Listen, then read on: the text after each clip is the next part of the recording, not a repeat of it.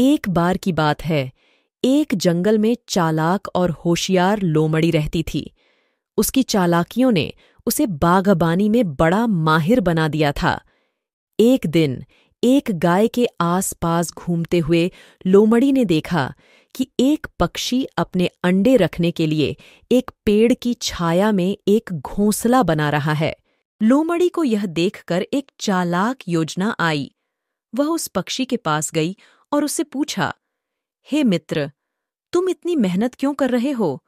इस पेड़ पर यहाँ कोई फल नहीं है। फिर भी तुम इतने खिलाने के लिए क्यों तैयार हो रहे हो?